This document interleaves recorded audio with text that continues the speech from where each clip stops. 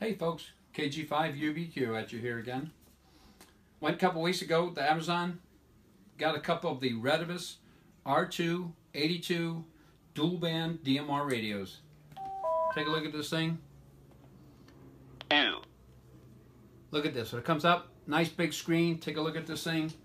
First thing I noticed when I got a hold of this, it is sturdy. This thing is built to last. It's not like you and I both know half our radios, we go banging them on here, they probably break on us.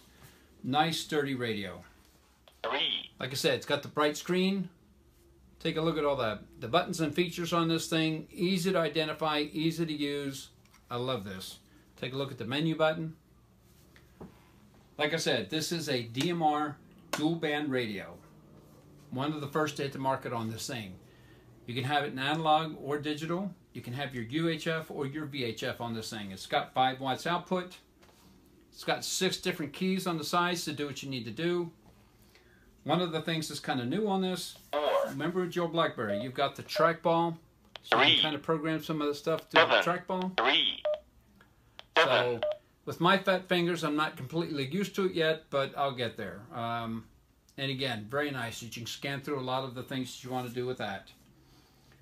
It comes with its own programming software cable. As soon as you get that, you can program it. You can download from the net. You can download the software, program this thing. It is not compatible with Chirp, but it does have its own programming software, so you can do that. I would recommend as soon as you get it, um, download the latest firmware version, update that, put that in here. You'll find it make it a lot easier as far as programming. There's a couple fixes within that latest firmware version.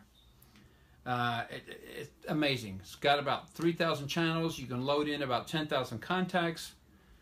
The battery on this, or even how you secure that thing, I love this thing. Very makes it very nice and secure. I left the belt clip off of this one on purpose. You kind of see when you're putting the belt clip in, it actually goes into the metal part of the chassis, so it's not, it's going to be very secure, and you're not have to worry about it when you change your batteries. Unbelievable on th- on this thing. There are two versions. One of them has GPS, one of them does not. So when you go to Amazon or wherever you're going, check them out. So you see that on there. Again, this is the RT82 from Retevis. Go to Amazon, check this thing out. KG5 UBQ 73s.